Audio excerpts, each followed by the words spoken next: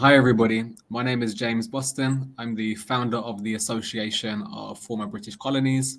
Um, the mission of the association is to examine the legacies of British colonization through educational content, social dialogue, um, and our aim is to inform global and UK policy around uh, reparations and decolonization.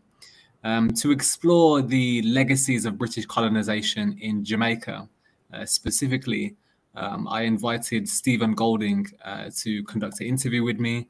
Um, and I'm glad to say that Steven has joined us. Uh, Steven, would you mind telling uh, our listeners a bit about your yourself and your background, please? Thank you, James. No problem. My name is Steven Golding. Uh, I'm the president of the Universal Negro Improvement Association in Jamaica.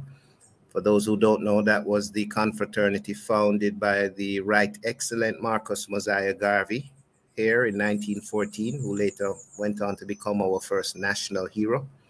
I'm also a member of the National Council on Reparation um, and have been since the elevation of the council from a commission to a council in 2016. And I've, you know, worn various hats over the years. Once chairman of the African Caribbean Institute of Jamaica. I'm still a member of the Institute of Jamaica. I'm a teacher by profession, a professor of Garveyism, um, husband, father, black man. All right. Thank you very much. and thank you very much for joining us. So, what we're going to do, we're going to start at the basics um, and kind of go over the uh, basic history of, of, Jamaica in relation to uh, the colonial history specifically. Um, and then we're going to explore themes like reparations and decolonization from the Jamaican perspective. Um, so, we'll start at the beginning. Why did Britain colonize Jamaica?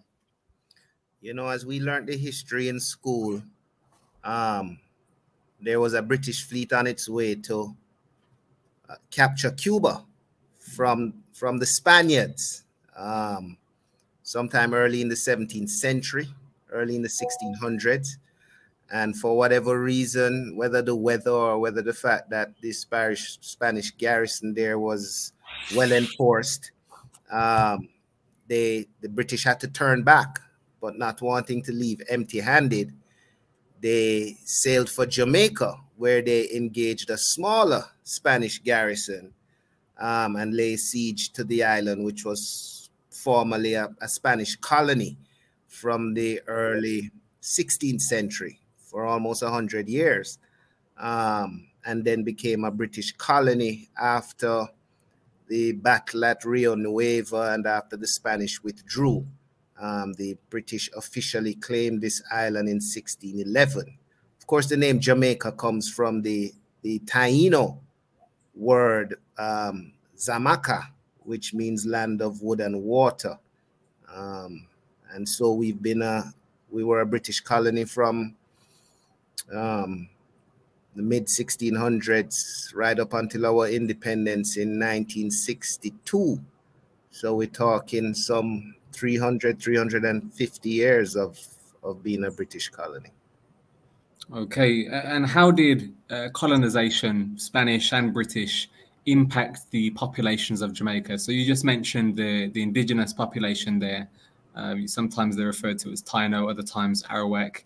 Um, how yeah, did Arawak was the language they spoke? For many mm years, we thought the people were called by the name of the language, but um, our historians and anthropologists have corrected us, I think, a couple decades ago. Um, the indigenous people, of course, had many different tribes, amongst them the Tainos, um, one group which became known as the Carib. Um, but how colonization affected them, it decimated their population, decimated their population. In fact, as a result of that, um, which was a consequence of the Spanish trying to enslave them and with the usual diseases that Europeans bring to these tropical countries. Um, it was as a result of that decimation that it was decided that enslaved Africans would be trafficked and brought here um, to work on the plantations that Europe had established.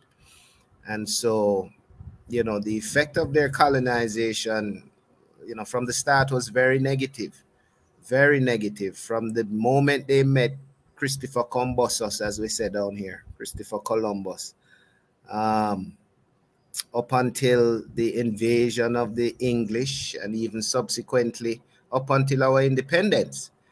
Um, there's been a negative impact, which you which you must expect from the fact that for over three centuries, you know, Africans were kidnapped and trafficked here.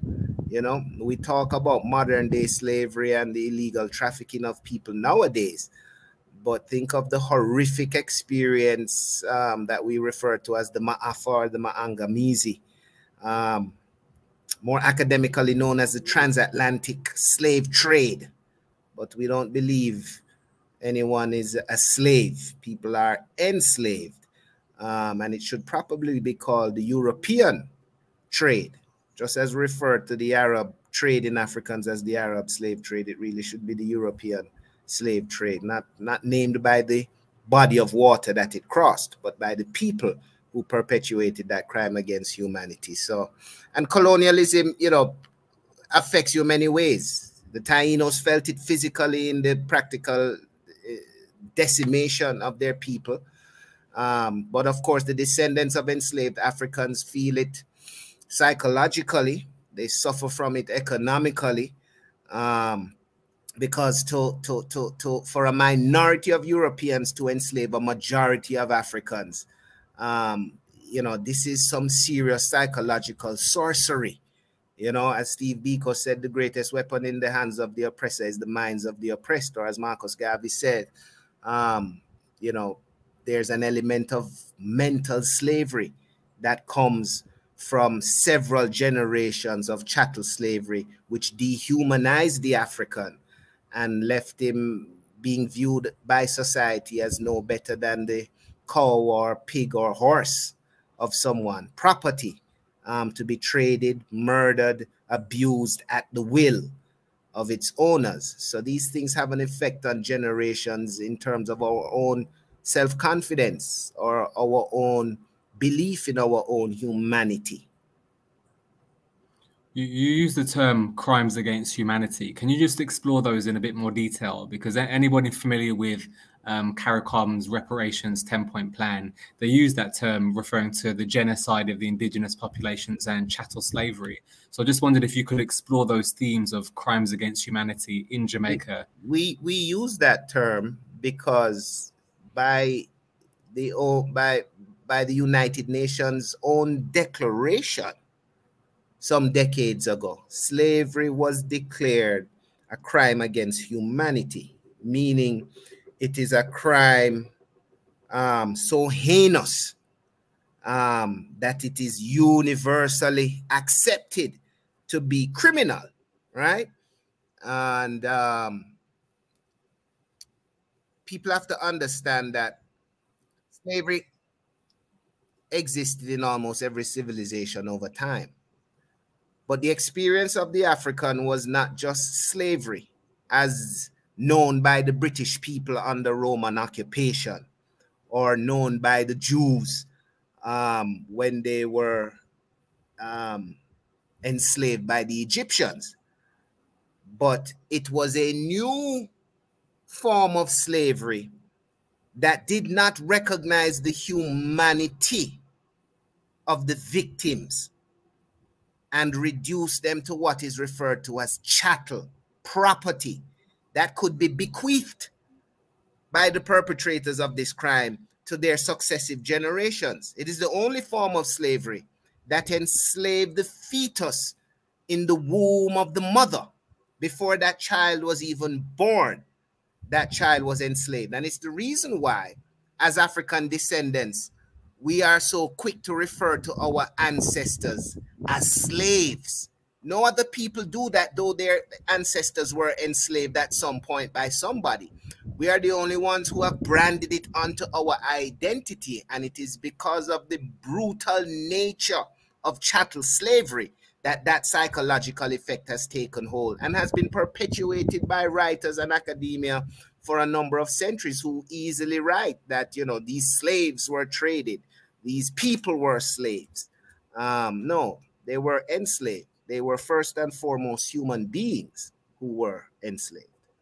And what of the genocide of the indigenous people? Were they completely wiped out, or are there uh, were there people who survived? Was there any mixing between the Africans and the Taino populations? And how has all this affected modern day um, kind of Jamaican culture today?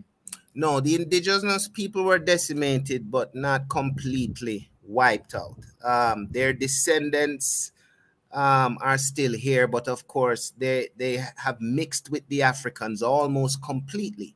In mm. fact, when I talk about the English invasion of Jamaica when it was a Spanish colony, that particular invasion created some of the, the early African kingdoms in the Americas, which is where, as our history teaches us, the Spanish, in withdrawing, um, left their enslaved Africans, who then continued to resist English occupation and took to the mountains where they encountered the last vestiges of the populations of the indigenous people who had been hiding from the Spaniards um, and joined with them to learn the landscape, to learn, you know, where, where the rivers ran, um, how to get from east to west and north to south, how to move about the island where food was plentiful. Um, and they infused that into their own regime as they built themselves into a guerrilla force and eventually African kingdoms with their own chiefs and chieftainesses and their own populations that bucked the system and led a war against slavery and colonization by the British and did so so successfully that after a hundred years of fighting, the British were convinced that it was impossible to defeat these people who the Spanish had called Cimarron, meaning untamed and wild, but the, the English had referred to as Maroons. Um, treaties were signed with them in the 1730s, um, granting them sovereignty and autono um, autonomous um, control over the lands that they occupied in the interior of the island. But, you know, this is not unique to Jamaica. There were Maroon communities wherever Africans were trafficked and enslaved and were able to resist to escape and to link up with the indigenous people who embraced them um, in the struggle against this European domination. So, you know, we have Quilombos in Brazil, Palenques in Colombia and Venezuela. You know, we had Maroons in Haiti before the Haitian Revolution. You had Maroons almost everywhere. Africans were threatened by the brutality of the institution of slavery and resisted vehemently and vigorously, um, and in many cases, won our liberty and held that liberty within the confines of these sovereign maroon communities. Okay, um, let's touch on some economics then when we're looking at the legacies of British colonization. So, is Jamaica still uh, impacted by British colonization in the sense of uh, economics and its, its standing in the global uh, economic sphere? That is probably the main way we're impacted.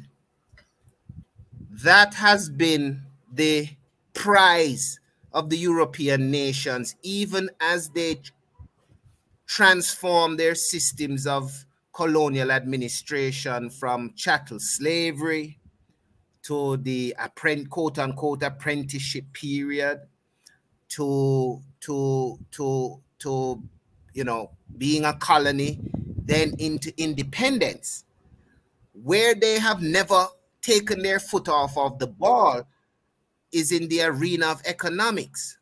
And thus the greatest obstacle facing african descendants in the western hemisphere in these former colonies has been wealth creation and economic independence. The colonies were never designed to give the people economic independence or the ability to create wealth on their own. I mean, just look what happened to Haiti, who violently liberated themselves, declared their own freedom and sovereignty, but yet were blockaded and boycotted by the other nations of the world who refused to recognize their sovereignty and punish them for liberating themselves. France even going as far as to claim indemnity, um, forcing Haiti to pay reparation in the amount of the number of enslaved Africans on the island at the time of their liberation and their revolution. And so this has always been the challenge. The way Jamaica has been developed is really just along its coastline. Our industrial systems are designed for extraction, not wealth creation.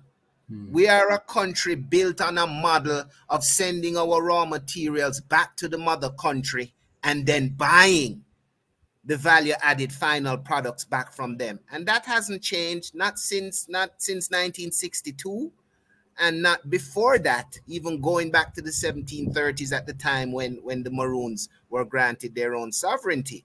You know the issue of wealth creation and the ability to trade on the global market um, control of the market is where europe has always been the gatekeepers and kept the chains tightly wrapped and the locks firmly placed so that even in in in liberating ourselves physically economically they knew that if we were to survive we would have to yield to the dominance of their world and global structure. That continues today and it's probably the reason why reparation has become um, such a, an, an issue.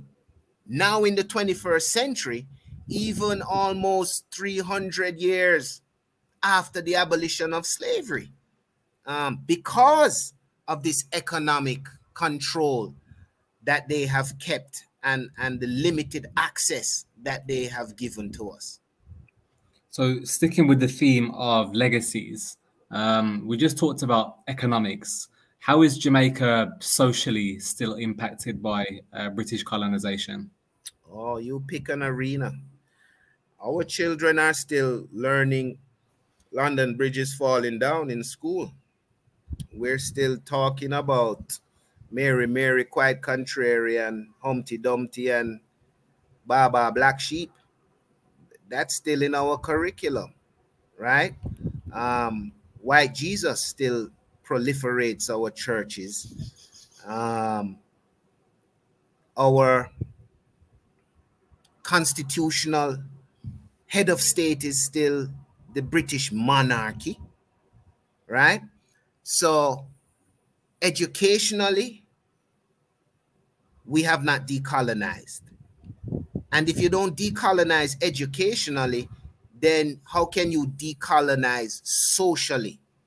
when you inculcate and indoctrinate Jamaicans from such an early stage with a system that is distinctly and overtly or invertly and subconsciously on every level still dominated by white supremacist policies, right?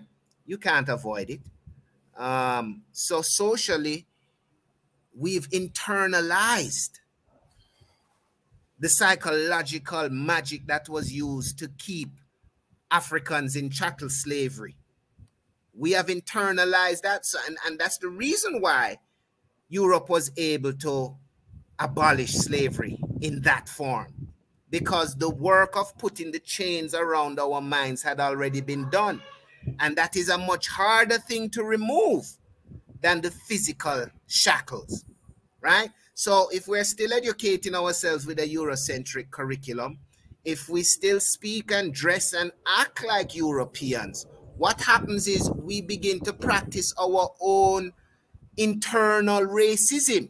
And so you find in Jamaica sayings like you're black like, which shows a lack of pride in our own African identity you find a Jamaican hardly ready to accept his African identity, but is quick to tell you that he is a proud Jamaican. But if you tell him he's African, he will challenge you on that, right?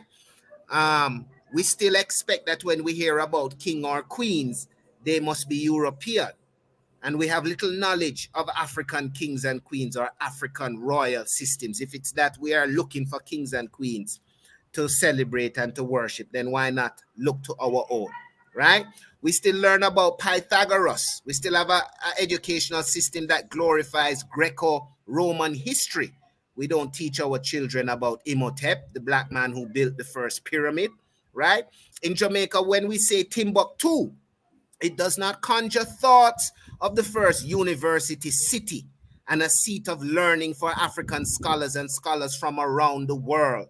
Um, a place where Africans studied to the point that they were able to cross the Atlantic 200 years before Columbus, right? Instead, in our minds, when you say Timbuktu, we think you're you're referring to a place far off um, in the bushes where somebody's gone and lost and may never be found again, right? So I give you those things as an example. What are some of the um, current attitudes towards colonization in Jamaica? What conversations are uh, taking place in the country? You know, the reparations movement has picked up um,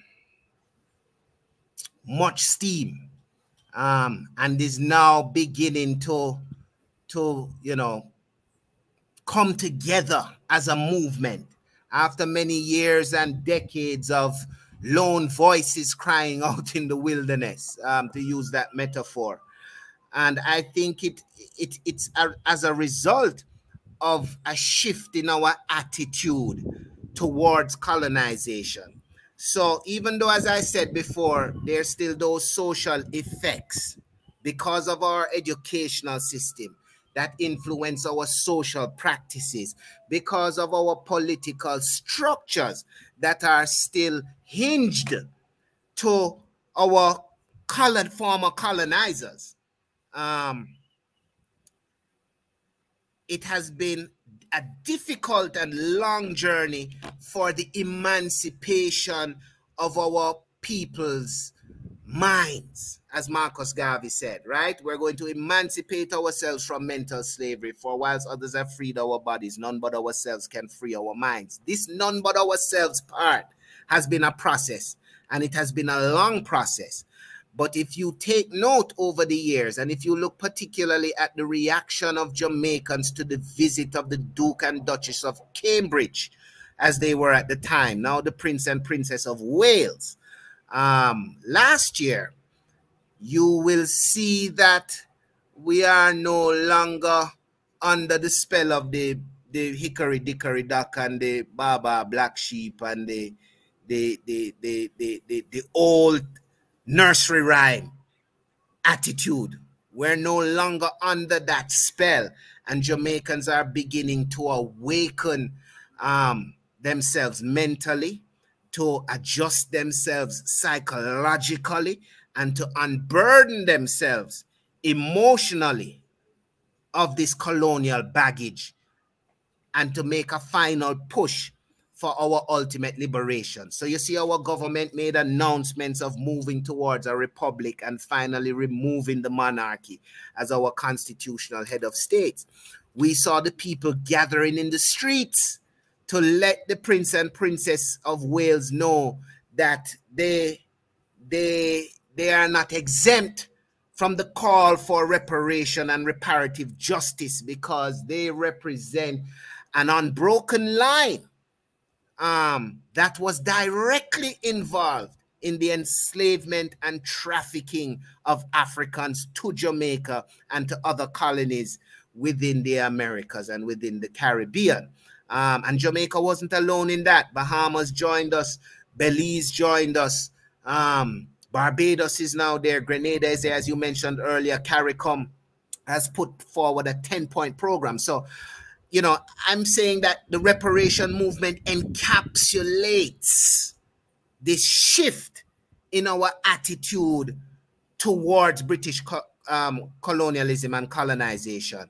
Um, and is indicative of an awakening of the people. And that awakening is going to come with some demands and some repercussions. And so we're happy to be alive and living at that time and to be able to be full participants in that process and that saga. Okay, so we, have talked about reparations. We, have touched on it a bit during this uh, this interview. I want to go into a bit more detail. So, what would reparations look like in Jamaica, and what would need to happen for reparations to manifest? There's so many areas when we call when we talk about reparative justice. You know, just last week or the week before, the Guardian published an article about this process of you know um, melting down metal or iron, scrap metal, and reforging it. Um, um, don't quote me on, on, on, that on the process particularly, but it's called the Cort process. And they did an expose on the fact that the gentleman in Britain who patented this process and became quite wealthy discovered the process here in Jamaica being done by enslaved and trafficked Africans. Some of them may be even free Africans living in Jamaica, like the Maroons um, who had been operating in the in the eastern parish of St. Thomas and had been working or plying their trade um, with a cousin of this gentleman, Cort. And not only did they steal this process and claim it as their own by exporting the forge and the entire foundry to Britain, but they instituted martial law in that parish in Jamaica to shut down anybody else practicing that process. They claim that it could be used to make weapons for the enslaved. And so they completely shut it down, discontinued it, and did everything to make sure that the knowledge was not passed from one generation to the other. Right? In today's context, you know, you call that industrial espionage and industrial warfare. A man has stolen your patent. A man has robbed you of your intellectual property, claimed it as his own, sold it to the world, and created wealth for himself without even giving you a single penny or a drop of recognition or credit, right? They discovered this. So I give that really as an example of how reparation has to work in many areas and many facets. We have to be working with what happened in the past. We also have to be looking at the effects it is having in the present and how we need to address certain things. For example, in Jamaica, there's a statue of Christopher Columbus outside of the Marcus Garvey High School. That for years, Garveyites and Pan-Africanists have been, have been saying, why is there a statue of Christopher Columbus outside of this Marcus Garvey? This school name for Marcus Garvey. It doesn't look right. It don't feel right. Now, granted, the statue of Columbus was put there because this had happened to be near where he established the first Spanish settlement, right? But the attitude and the awakening of the people now are saying, well, that might be the story, but that's not a story we want to celebrate. There are no statues of us in Spain talking about our contributions, some of which, like the Cort process out of Britain, we know was stolen, right? So why are we glorifying them when they're not glorifying us? Why are we continuing to, to brainwash ourselves with these images that future generations must see? So the, rep, the, the reparative process, you know, is, is tenfold, maybe even a hundredfold. We've done engagements with the Ministry of Education to, to, to, to consult with principals, guidance counselors, and, and, and, and senior teachers about changing the narrative in our colonial inherited curriculum, right? And doing things as I've mentioned before. If you're going to teach your children about Pythagoras, you must teach them about Imhotep too. If you're going to teach them about Christopher Columbus, then you must teach them about Mansa Musa also right? If you're going to teach them to, about Oxford, then tell them the real truth of Timbuktu, right? That's one example. Health wise, there are other reasons. People are looking at our diet, our particular proclivity for hypertension, um, for for uh, um, obesity, for cancer, various things that scholars are now linking to nutrition and to the fact that after 300 years of chattel slavery, after five, six generations of starving a people or not caring what you feed them or just feeding them the minimum to stay alive and work, it changes their genetics. It predisposes them to certain things because of the diet they have been accustomed to. Wealth creation is another thing. So if you look at the, the CARICOM plan, of course, there's calls for, you know, debt cancellation, there's calls for infusion into technology, there are issues of health, um, um, reparation, re repatriation is on there for people who would like, for example, for us to travel to Africa right now. We either have to fly through the United States or to fly through Europe. We have to pay a transit fee or a visa fee to those countries to get to our ancestral homeland when our ancestors were kidnapped and taken here. They didn't need any fees. They didn't need any visas. They didn't even want to come here. But yet now for their children to return home, it is a long drawn out process in which we are taxed by the very people who kidnapped our ancestors. There's another example. So when we talk about reparation, there's a broad range of things that we have to touch upon and that we have to address. We need to repair our educational system. We need to repair our economic programs. We need to repair our industrial relationships with these former colonizers, right? We need to repair our healthcare systems, right? There's no paramedic service in Jamaica that when you get into an accident, an ambulance rushes out to tend to you. No, the police have to pick you up and throw you in the back of the car. Sometimes you're dead before you reach the hospital because of being moved and not receiving medical attention where you where you fell. And for people who were brought here for their physical strength right? To create wealth for others and did so so perfectly that Europe was able to save so much. Their consumption was so much less than their their savings because they weren't paying for the labor that it sparked an industrial revolution and another period of technological enlightenment that they claim to have contributed to the world. But now we are beginning to find out many facets of it were actually stolen from the very labor that they refused to pay. Not only did they refuse to pay them, but they stole their ingenuity, patented it for themselves, and continued to create wealth for themselves. And at the point of emancipation or independence, they told us, well, see, you're free now. It's every man for himself. What are you complaining about? Do for yourself. While you're sitting on five, six generations of stolen wealth, that is rightfully the intellectual property of our ancestors.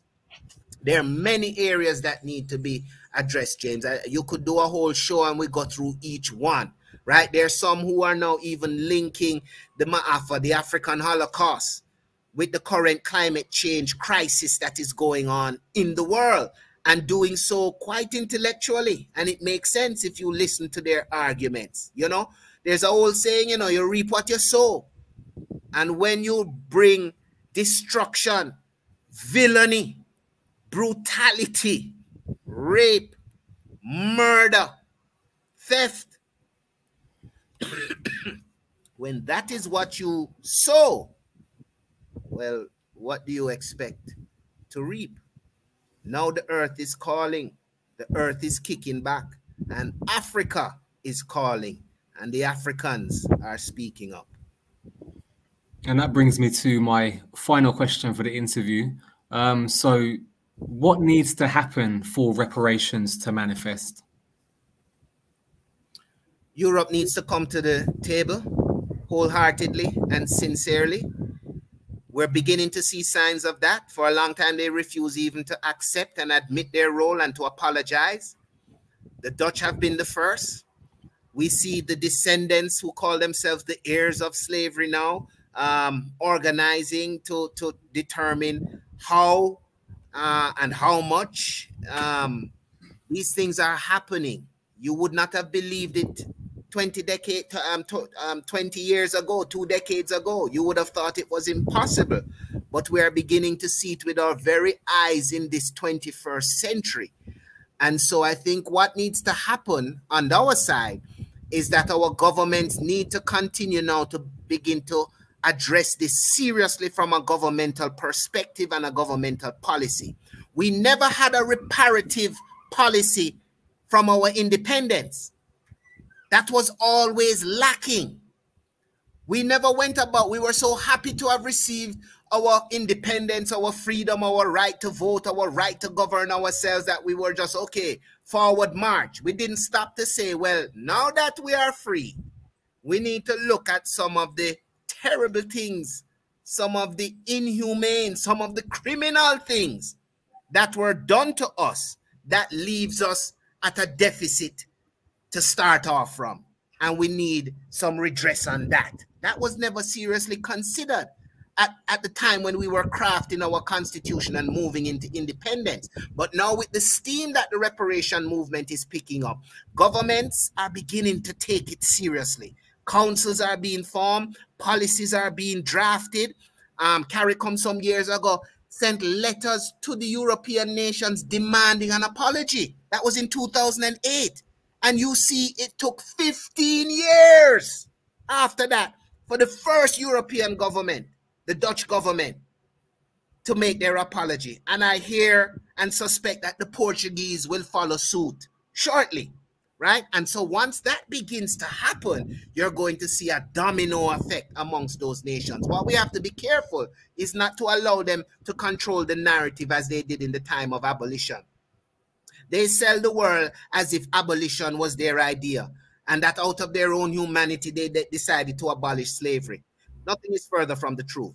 Slavery was abolished because of the resistance and the fight put up by Africans, not just in the on the fields, in the mountains, and on the plantations, but the lobbying that was done by former enslaved and now free Africans in places like Westminster. People like Olaudah Equiano, who brought it to the attention of young British parliamentarians who thought they could build a career out of crusading for abolition. They didn't just wake up in their bed and say, oh, it's a terrible thing we're doing to these Africans. We should set them free because this is not Christian and we say we're Christians. That, that was never the process.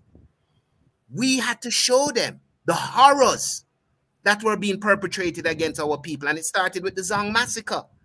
And even after, even after petitioning them, petitioning them from as early as the 1780s, it took two decades for them to end the slave trade and three more decades for them to abolish slavery itself as an institution.